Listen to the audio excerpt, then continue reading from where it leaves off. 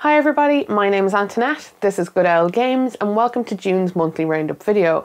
The one that probably shouldn't exist, but here it is anyway to tell you about some of the changes to my board game collection.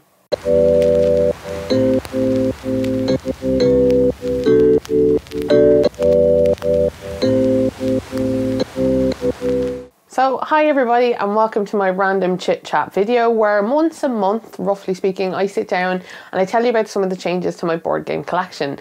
And the video is broke into sections so you can listen to well, you can hear about the new games I've been playing, just some of the general games I've been playing. There's a bit of chit chat and stuff at the end if you want to tune into that. Um, but I've put timestamps in this video so you can kind of hop along and hear about the games you might want to. So, you know, you can do that. But of course, I'd love if you listened to the um, whole thing in its entirety.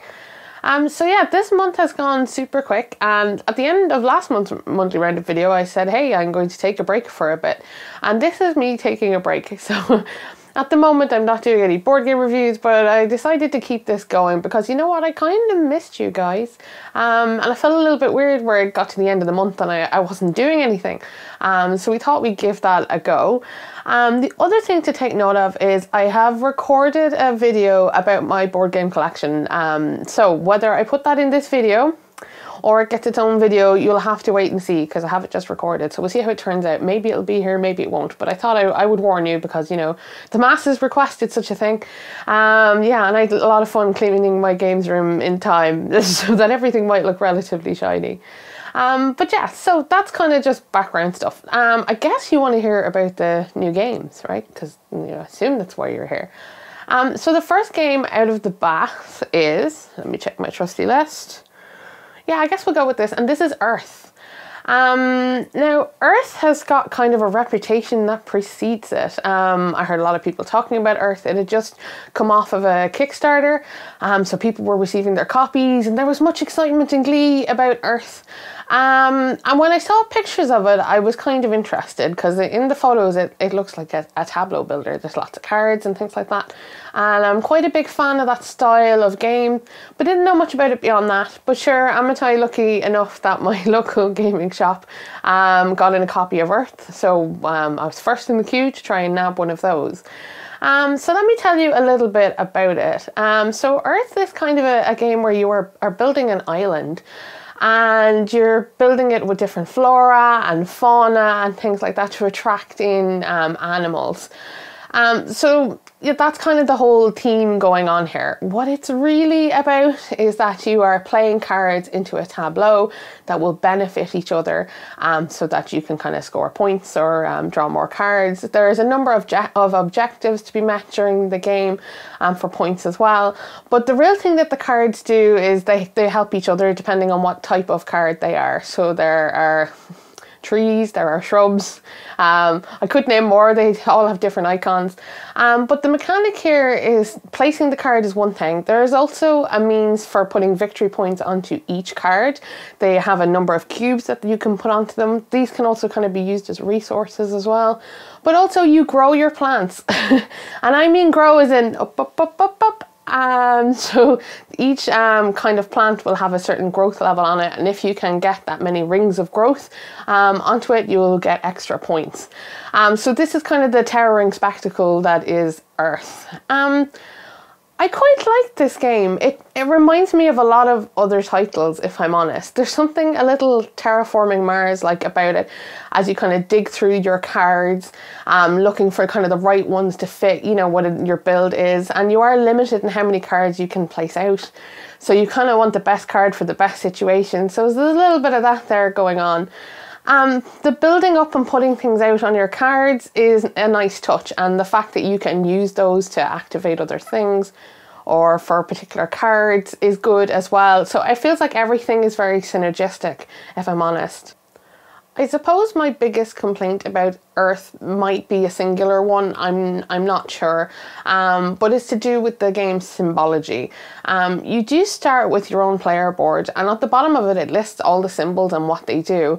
Um, but I found it very hard to keep track of which one was for which. Some of them were quite similar, and some of the ones for drawing cards in particular um, would have hands and things on them, so they're a symbol you're used to seeing. Draw cards to your hand, but it doesn't actually mean that in this context. Um, in particular, there's um, a leaf icon, which is victory points, but if you put it in a box, it means a cube, not victory points. Um, and things like little things like that I found that kept um, tripping me up. I've played the game three times now and I always found myself having to religiously check the symbols. They just wouldn't, I don't know, they just didn't feel natural to me. I think that's the biggest letdown for the game, considering it's got this section where it's like, here's all your symbols. Um, I found that a little bit odd. But overall, this is very fun. Um, it's very colourful. It, it feels quite strategic. Um, the other cool thing I didn't get to mention is that there is like a compost pile for cards you get rid of, or you can add cards into it, and that's worth points as well. So there's everything really fits together awfully nice, and it's quite it's quite satisfying to play. There can be the issue of sometimes that, well, look, you just don't get the type of cards you were hoping for to complete your tableau, and your opponent does. And I think that's just the case of any kind of larger card game where sometimes it all comes up trumps and sometimes it just doesn't. Um, but there are loads of ways to, you know, mitigate that and mess with cards and get lots of them or maybe you should just change your strategy on the fly kind of feeling. But yes it's fun it's colorful it's bright. Um how long is it? That's a really good question. I think the last game i played was very long but i didn't even think that. I would have said an hour. I think it says 45 minutes per player um, but it doesn't feel like that at all. It feels like it's just a 40 minute game. It feels like there's never enough time to do everything I want to in my tableau. Um, so yeah, I had good fun with that. I'm dying to hear if anyone else has been playing it or what they made of it. Um, but yeah, I like it quite a bit. So that is Earth. So next on the agenda is actually a game from Kickstarter, or more or less an expansion expansion game, and this is Vindication Chronicles. So Vindication is this really um, unusual kind of Euro game in which you are trying to redeem your character. Um, and so you start off kind of, you know, in ill repute and you go around the board using cubes and things like that to basically improve your character, to become a better person. Um, and it's a cool concept for a game. Um, but to me, it has always felt very mechanical because it is a, a, cube pusher. It's you go here, you get your cubes, you use your cubes to buy things to put into into your tableau. Um, it's always got that kind of feeling to it, and it's a race game kind of as well because it's usually first person past a certain number of points, um, the game will end. Um, I always thought it was very inventive and very colourful, very very um, cool, but very dry. I might be the better word for it. Like it, it while it has a cool idea, the theme wasn't always massively carried through. And you know what? I didn't mind. You're playing with cubes. There's only so much imagination I think you can put into that. Um, but I've always been a big fan of Vindication, but not quite as much as my husband who backed this Kickstarter. Um, and it's been a good while actually since this was backed. Um, but it came up, um, came came up. Do you hear me? It it appeared one day, you know, out of the blue, um, as a nice surprise. And the Chronicles expansion um, certainly changes the game. And there's lots of kind of bits to it, but really what it comes down to is it adds story and theme to the game that had no story or theme. Um, and what it basically means is that there are kind of events that unfold as you play the game. So you will read something out, you will make decisions. Um, and depending what you do, you have a character sheet now so that you can kind of um, unlock certain things on it or fill in certain parts. And it all felt a bit odd. It actually felt like um, a completely different game. It didn't really feel like Vindication. And it really slowed the original game down as well because now you have to take time to kind of read everything and engage with everything. Um, I don't know what to make of this expansion. I think maybe other people will like it more than I did. I think if you want more story, well, you're certainly getting that. And there's a lot of effort put into the bits of story kind of that you get and how this unlocks certain things. And there were new places on the board and that that you could go. Um, kind of all like jam packed into this kind of feature. Um, but I just I just felt like it took away from what the game was originally trying to do. Um, it feels a little bit like the criticism of you know oh well there's no real theme on this game was really taken to heart for for an unnecessary purpose. Um, so maybe this is just me. I loved the game just the way it was. I find I find this expansion um, to be kind of um, unnecessary, or at least changes the game in a way that if I had seen the original game with these changes, I don't think I would have bought it. Um, now, maybe there's loads of people falling all over it, and I'm really excited to have this kind of experience while they play games. And more power to you. Um, I guess it's just not something that usually appeals to me. Um, but I do feel like the expansion is well done. I think there's a, a lot in it. Like it's jam packed full of things.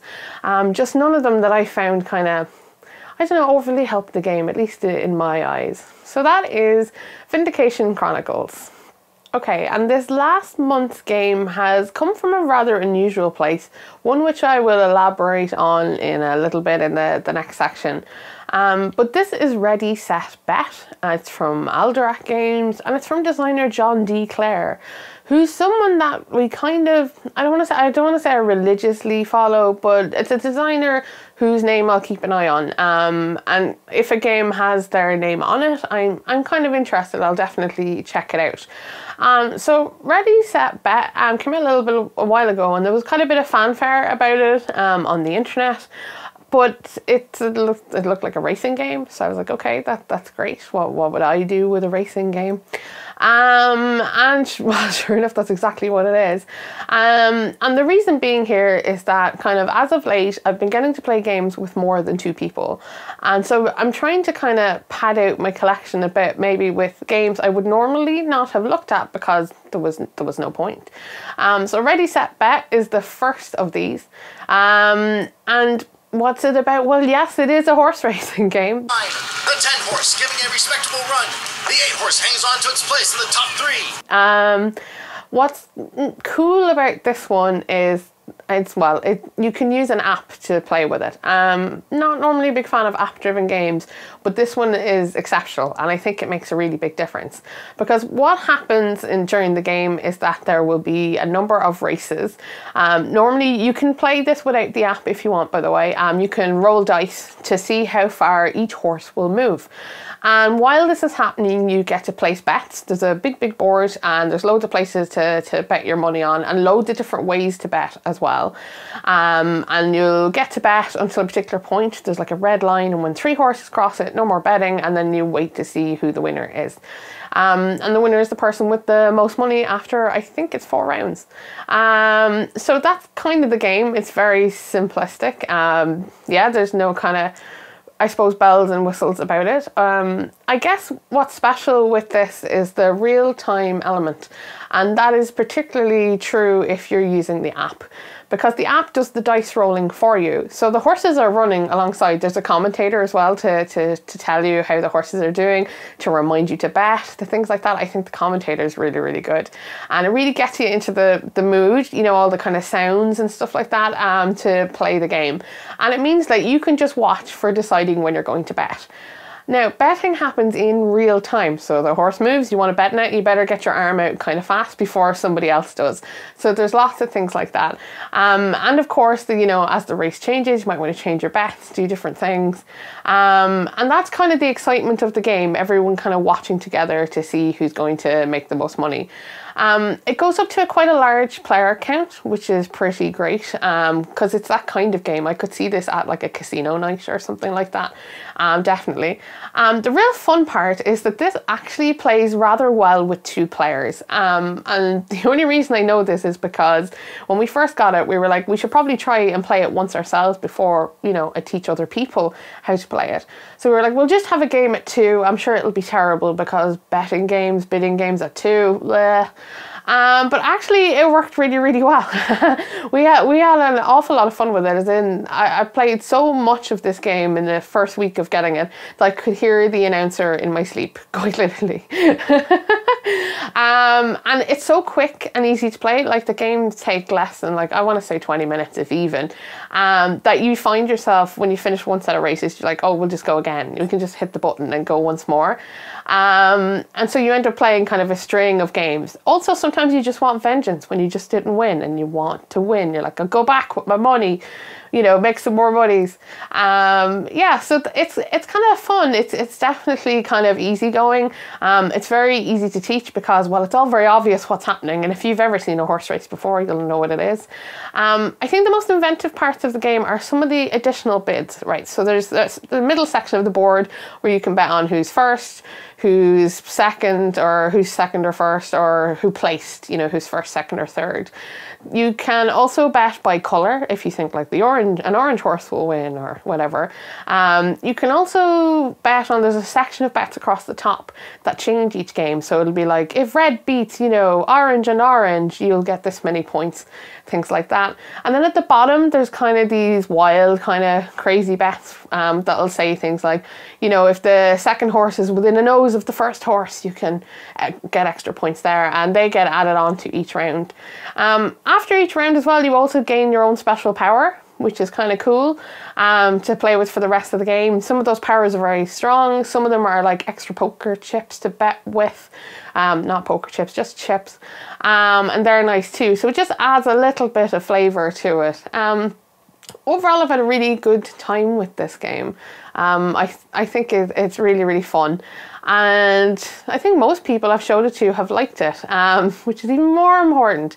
Um, and that's always a good thing. And plus, you can play it with a group. I could definitely, yeah, I can see this in a lot of kind of, you know, party kind of group situations. So this is a new territory for me. Um, so I'm pretty impressed with this one. So that's a ready, set, bet. And on that kind of high note, I'm going to hop right over to the games I've been playing where we kind of have a continuation of theme. Right, so games I've been playing. Um, this is a bit unusual this month. Um, like, firstly, most of the games I've been playing have been the games I've bought. I don't think I've ever played so much of games I've just bought immediately. Normally, they'll get one play and then I'll come back to them later but I've three plays of Earth. I've God knows how many plays of Ready Set Bet. Only one play of Vindication, unfortunately. Um, but that kind of thing has been occupying my gaming space. But the other unusual and pretty fun thing that's been happening is that I've been getting to play games with other people. Um, so I've been playing some games with my friend and their wife, and this kind of was a was an interesting challenge in the sense that you know when you go and you visit someone's house and they, they ask you to bring games and you're like what will we bring? Um, you know how, how much do I, how much do I really know about these people? What would be appropriate um, and also you don't want to scare your friends off and that's the problem with being inside a hobby so much right? And having so much information. You've done all this research you've played all these things and you want to share them with everybody. Um, but that's not always the best approach. I think you have to treat them like a scared horse you know like approach with caution and very gently um, so I'm going to talk a little bit about some of these approach with caution games. And I would also love to hear your suggestions because as I said, my own kind of pool with this is kind of limited because I don't normally yeah, I don't normally get lighter games with groups. Um, this is quite new. Um, but I had a couple that I had to pull out. So these were kind of my recommendations for, you know, if you're not sure. if you're not sure what's going on. Um, and you've probably heard me talk about some of these before, but I'm going to do it again because I think they're awesome. So you can always skip over these if you don't want kind of light group games. Um, so the first that comes to the table and always hits the table positively and well is Wits and Wagers from North Star Games. Wits and Wagers is possibly the best trivia game ever made. And I'm saying that without having played most trivia games. Um, but it is just such a fantastic kind of opener and way of getting to know other people and also a game that doesn't put pressure really on anybody at all um, so it's got that great appeal to it and Wits and Wagers is a game, yes, about trivia, but it's not one where you're expected to know the answer, hence the no pressure part. Um, what'll happen is that um, it'll go around the table and each person will read out a question from a whole pile of questions. And you'll be expected to come up with an answer. And the answer will always be a number. So your goal is to get the number right or to get it as right as possible without going over the number. Um, and so everybody will write down what they think the number is or what their closest is, and then you kind of you line them up on the table. And then you get to bet on whose answer you think is right. Um, so you're trying to make money, um, of course, because you know this is a betting trivia game. But as I said, you don't have to have the right answer if you can bet on someone else you think might. Um, and that's always a fun kind of thing. Also, the questions are generally quite hilarious.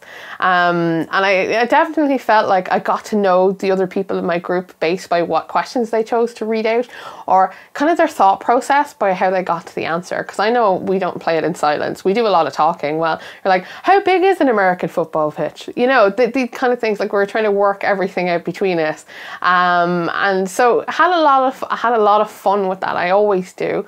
Um, there's a, also a Vegas edition of this where you can kind of um, have odds on the bets on the answers you've put out and things like that. And um, that's the edition I have. I know in the States there's like a Target edition of it, so for really cheap as well. So it's, it, I don't know, I think it's well worth picking up. I absolutely love Wits and Wagers. And the best part was, was that our new person asked to play it again. So I always think that's a positive, right? Um, it, I think it's a great game for, for parties, for loads of people. Um, and I think it's just one of those laugh out loud moments, you know, like what did you think that was? How did you think that number was that? Um, and whatnot. So um, yeah, so that is Wits and Wagers. I talk about it quite a bit, but that's simply because it's just so good. Um, right, so that was uh, the first thing we, we pulled out.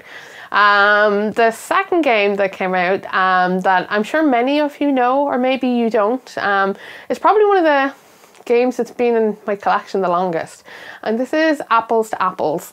Um, and so this is a little card game about basically kind of not quite guessing what someone's thinking, but knowing what someone might be thinking. Um, so how it works is that there are two types of cards um, to play with.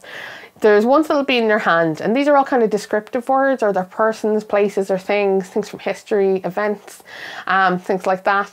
And then one player will flip over one of the green apple cards, and what that is is these are kind of descriptions. So they'll be like, "What do I think is honourable?" So that's what they'll say.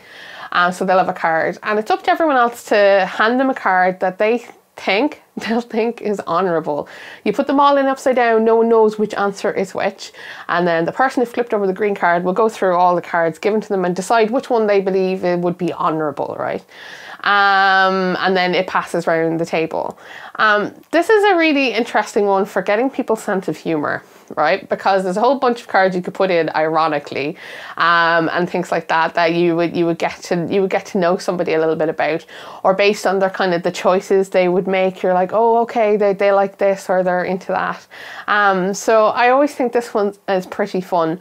Yet again, the stakes are incredibly low. It's the first person I think to get seven answers um, correct is the winner, but it's not really that. It's much more of an activity of you know connecting words or connecting people and places and things things with these words. Um, but it's always a good laugh. You can play with loads of people as well. Um, in fact, it's probably recommended so you have more answers to choose from. But I always feel this is another one that puts people at ease. Um, that because I think there's a fear that when someone you say to someone, oh, "I'm going to teach you a board game," that they're anticipating that it's going to take a lot of time, there's going to be a lot of rules, there's going to be so much to get through. And I'm a big fan of games that explain themselves just by being on the table. You should be able to look at the game and figure out what kind of thing it's trying to do. I think, at least in these situations, until you can gauge somebody's kind of interest um, in things, I think that's always a, a, a good way of going about it. Um, so yeah, so apples to apples is yeah, what a game I've had forever. Um, and it always goes down good too. But like I said, definitely like lighter, fun, get to know each other kind of category. Um, I'm a big fan of these lighter games when they're not silly. I think it has to have a purpose. I think you have to actively be doing something for it to be, you know, particularly enjoyable. Um, and things like that. So I'm quite I'm quite happy with how these two went. And then I rounded out the evening with a copy of Potion Explosion. Um, has anybody played that? You might have played the app. Apparently, the app was really popular for a while. But Potion Explosion is a game about creating potions by matching kind of beads of, of the same color together um, to use in your potions. Um, you need a picture really of the little thing that feeds out the beads. It's got like its own little engine, a little machine where you put all the beads into and they'll come out randomly in different colors into the rows. And what you're trying to do is get as many of the same color to click together. And you get to take away one ball, so you get to keep that, and then you get to keep everything that clicks together after that. So there's a whole bunch of combos going on to fill in your potions, which will want these different color balls to do it. Um, I think Potion Explosion is another one that it, you see it, you know what it's doing. Um, also, it's very tactile. You physically have the balls in front of you to put physically into your potions. And I think that's a really nice touch. Um, I think the only thing that's a little complicated about Potion Explosion is each potion will have its own kind of special power. Um, and you're going to need to basically like read those to understand the powers. You know, that kind of way. Um, so I, I must print out some kind of little charts or little reminders for those because um, otherwise it's just in the rule book. Um, but that game was definitely a step up from the other two um, and it did go down well. I think it took a while um, but then kind of it all makes sense and fits together, you know, that kind of thing. So I, I think Potion Explosion is very good at that. Um, whereas it can seem very complicated initially because there's all these colours, there's all these balls, you have to do these things.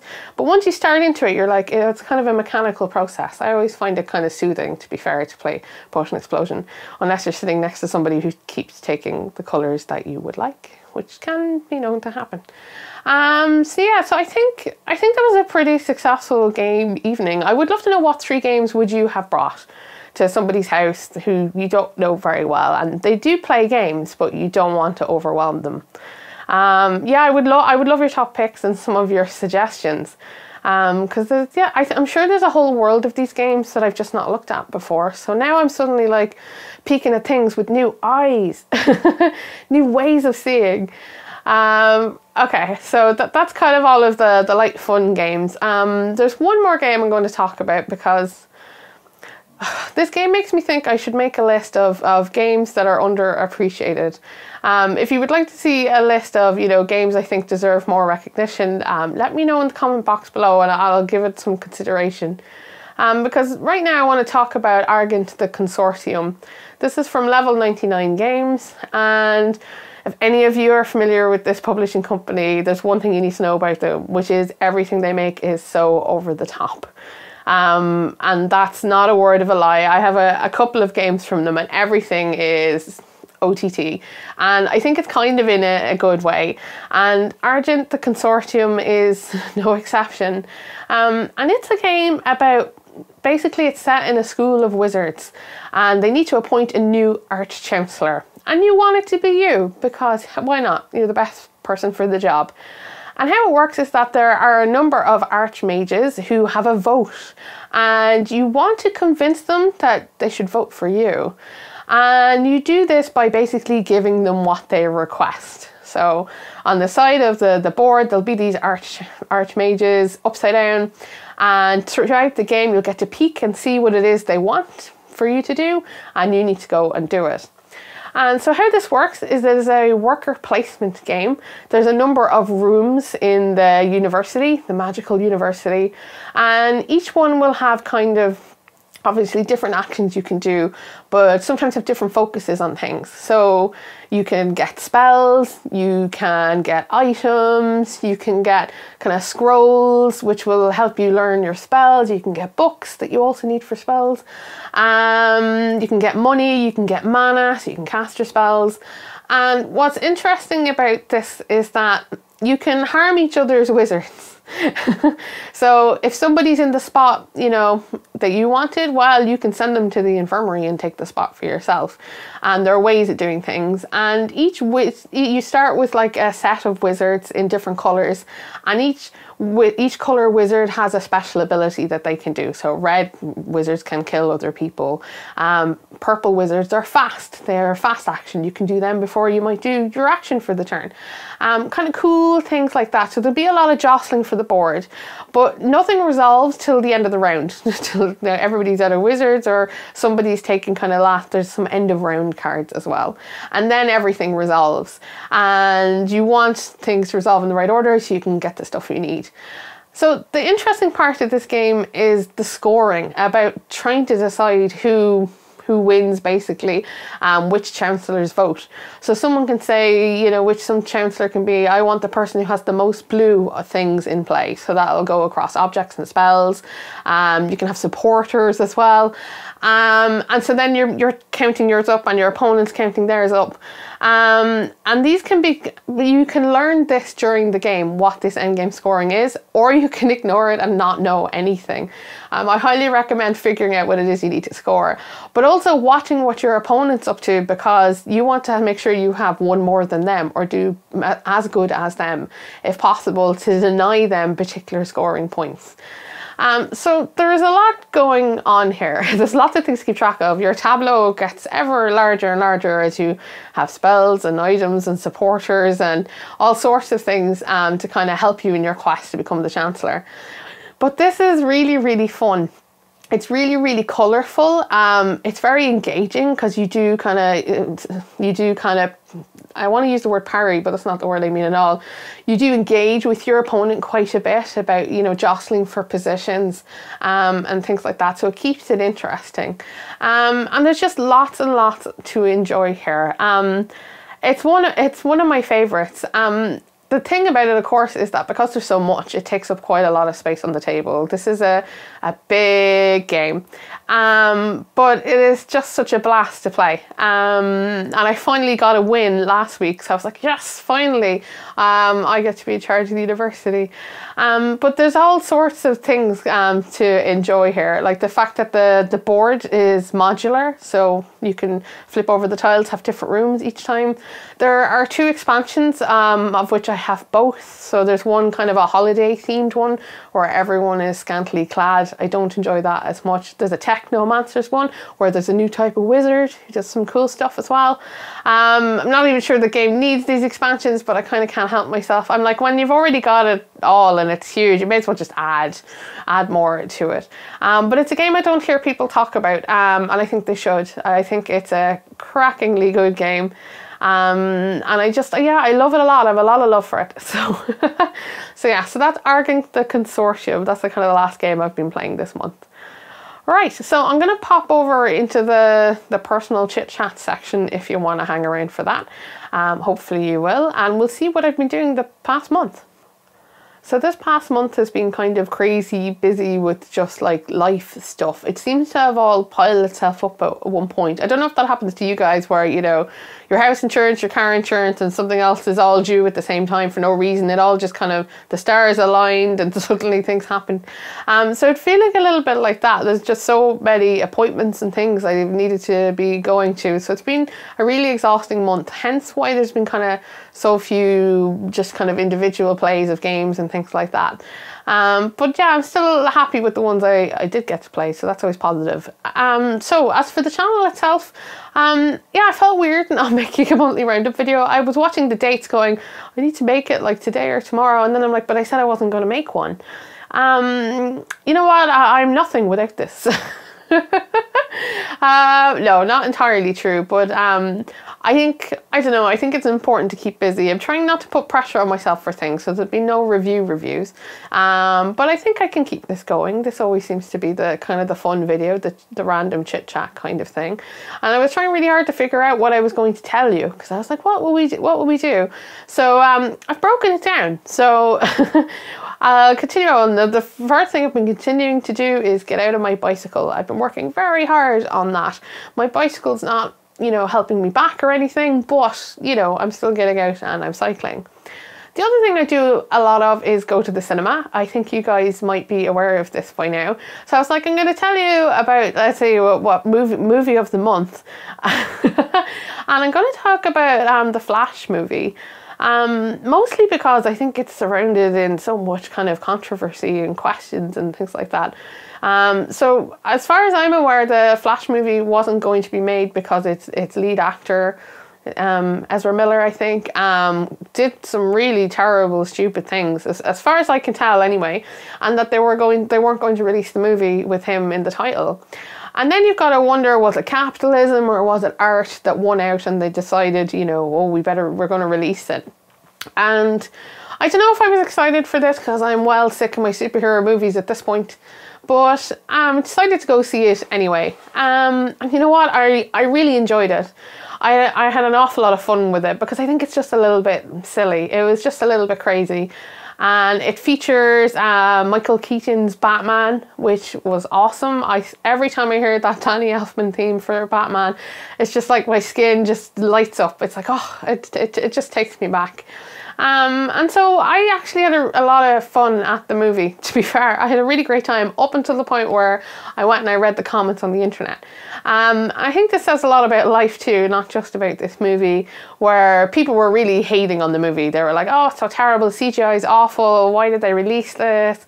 And I was like, was it that bad? Is, is, I'm like, was I wrong? Did I not enjoy this? Um, and you know what? I just think different people go into the cinema with different expectations. I think I went in with very low expectations, so I enjoyed it. I don't know if like real fans will feel different about the movie or not. Maybe they did.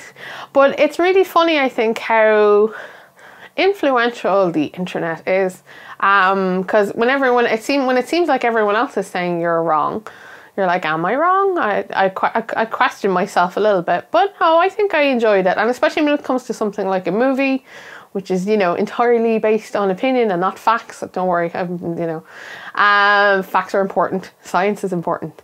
Um, yeah, I just, it kind of, I don't know if it soured my experience of it or not, or maybe a little bit. But like I said, I, I, ha- I had fun, fun with it anyway. Um, the other movie I'm going to talk about is one that was not in the cinema. um, and it's something that really kind of, I don't know, it had left an impression on me. Um, so I don't know how many of you are fans of Nicolas Cage. Um, I'm a huge fan of Nick Cage.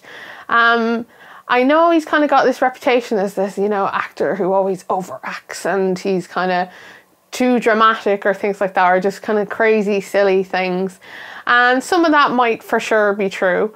Um, but I've always enjoyed him. I always think he's made a movie better by being in it. So I've been, you know, I've been watching all of his rele- recent releases and things like that for some time. But he did win an Academy Award, and I'd never watched the movie. Um, and it's called Leaving Las Vegas. And first off, trigger warning, it's an incredibly sad movie with lots of alcoholism. Um, so just say that right out of the bat. But what the movie is about is a, a guy who who's drinking a lot, absolutely, he's drinking a lot, and his life seems to be falling apart because of all the all the drink. And he goes to Las Vegas and he decides basically he's just going to drink until he dies. He's just going to drink himself to death. And he meets a sex worker there in Las Vegas. And they kind of form, and, and I hate to say this, an unlikely friendship but no, a kind of an understanding between them, and you know, and they become friends and kind of spend time together, um, up until kind of the end of the movie, where ultimately, you know, Nicolas Cage has to expire because he's drinking all of the time, and there's something.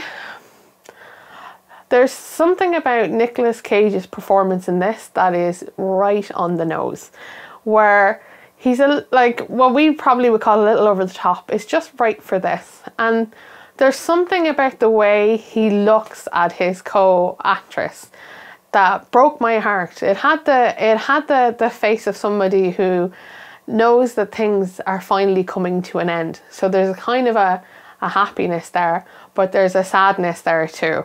Um, his performance is, whoa, oh yeah, I, I'm still thinking about it like a week later. And I'm still thinking about the movie as well, about what, it, what it's about, what, what it meant, you know. Um, you know, kind of what was the point of it. And I found a, um, an interview with the director actually. Um, there's actually very few reviews of this film online. I wanted to go and have someone else help me pick it apart so maybe I could make sense of it. But the director said something really interesting and he was he goes, "Do you ever know one of those people that he goes, they're normally very intelligent and very talented individuals, oftentimes kind of artists. And you'll see them kind of destroying their lives for no reason. Like you'll see them going down a particular path and you're not sure why. You can't put your finger on what's wrong with them or why they're behaving like this, but they, but they are. Um, that they're kind of like their own the architect of their own downfall kind of thing. And he's like, I wanted that in this movie. He goes, There are so many movies with happy people all of the time. He goes, For once, I wanted to capture that kind of sadness. And that really resonated with me as a rather sad person at the best of times. Um, and I thought, I don't know, I just, just something about it I found very, yeah, it's like it's rough. It's rough to watch, but it it definitely gave me pause for thought. So that's kind of been like the the movie highlight of the month. I don't know if any of you have seen it. I don't know if I could rec- I should recommend it. I don't know, maybe you're in the mood for that kind of thing. You know, don't expect to come out like feeling the joys of life. but I'm really glad I watched it, and um, maybe I'll come back next month with another Nicolas Cage movie. For a whole five minutes, I was like, I'm gonna make a video review of every Nicolas Cage movie he's been in. And then I went and I looked it up online, and someone else has already done it. and that guy's doing quite a good job, actually. Um, so maybe uh, we won't go that far. I, was, I wasn't sure the jump from board games to movies. It's kind of a big jump, right? Um, other than that, what's been going on? There have been birds, as usual, less birds than normal. There's been less going out because the weather's been a bit dodgy and there's been things happening at the weekend, so it's not been as exciting as normal. And there's yeah, the, the um, and I think that's probably about it. I've been working with the gimbal um, to try and get kind of nice board game shots because I've always wanted to be able to do kind of the over the table thing to show you guys everything set up because that's what I'd want to see if I was deciding to buy a board game. I want to see what it looks like in the middle of a game and to give you an idea what it's about. Um, I have discovered I have incredibly shaky hands. and so that doesn't always work the best uh, with that. But I'm seeing if I could figure out something, maybe an extra handle or something to stabilize myself. Didn't realize how shaky I was till I needed to not be shaky. Sounds about right. Um, so that has pretty much been June. Um, so hopefully um, I will, I will, or you will have seen um, the trip around my games room. Mm-hmm. It's it's definitely coming, or or has come. This is we're talking in two tenses. Um, but yeah, so there's that. And I hope you all had a good month. Let me know what you've been playing. Has there been anything cool? And I'm all open for your suggestions, thoughts, and ideas. All right. So um, tune in again next time. Um, all right. Thanks, everybody. Bye bye.